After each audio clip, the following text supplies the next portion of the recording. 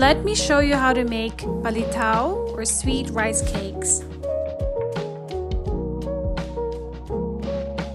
Ingredients include glutinous rice flour, grated coconut, peanuts, sesame seeds, and coconut palm sugar.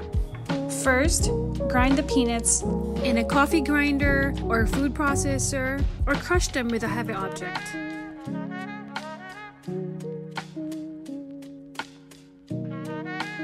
Toast the sesame seeds until lightly browned.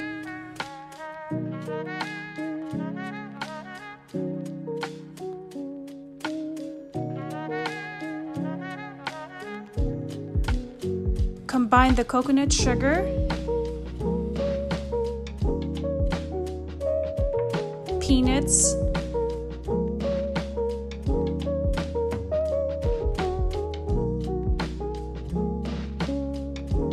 and sesame seeds. Mix it up.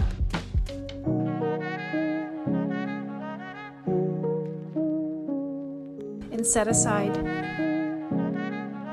Combine the flour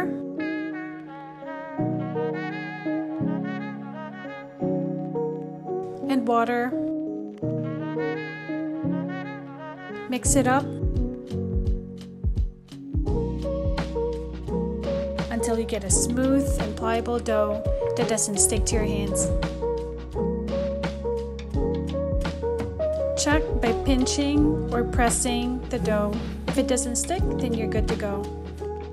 With lightly floured hands, scoop some of the dough onto the palm of your hand. Roll it into a ball and press it in between your hands until flat and thin. Or flour your baking sheet and scoop the dough onto the baking sheet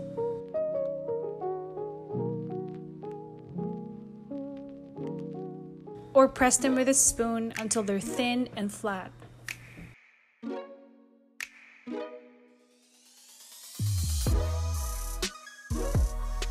Drop them one by one in boiling water. Wait for a minute or two. Once they start to float, they're ready.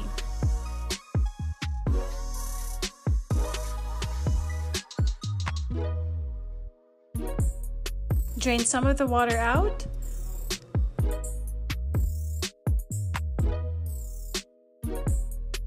Coat with coconut on both sides.